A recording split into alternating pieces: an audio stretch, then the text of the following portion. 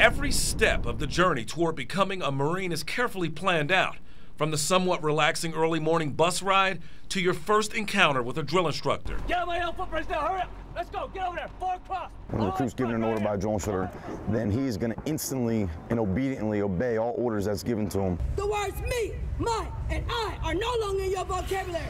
This recruit would describe this experience as the best experience of this recruit's life. And much of every recruit's life aboard the island is spent on the parade deck, practicing drill. Close order drill is another intricate part of recruit training process. Drill is stressed during each of the three phases of recruit training. It not only teaches teamwork, but discipline as well. Discipline could potentially save someone's life in combat. Combat preparation and weapons training are also stressed, along with stress itself. Things are intense, sir. Um, here at Parris Island, there's a lot to get used to.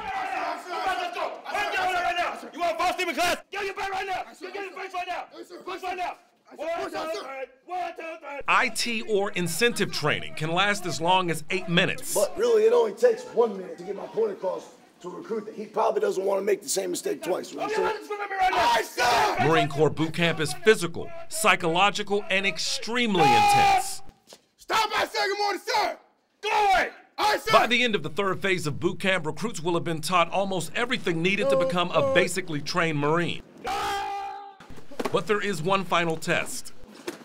Training of these young recruits culminates in a 54-hour series of exercises called the Crucible. Events like pugil sticks help stress individual as well as team strengths. During the 54 hours of the Crucible, recruits hike a total of 40 miles. They eat no more than three meals, and they only sleep eight hours. It is brutal, but when it's over, each will have earned the title of United States Marine. Parris Island is like no other place in the world, and unfortunately, the Marines who train here rarely get the opportunity to appreciate its beauty.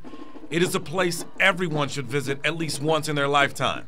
After all, it is where they make Marines.